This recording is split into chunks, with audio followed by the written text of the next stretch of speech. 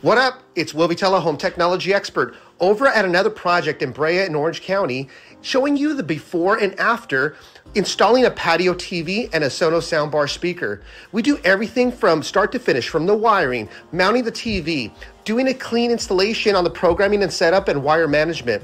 Here you can see a 65 inch 4K LED TV with a Sonos soundbar speaker with voice control so you can watch TV and listen to music.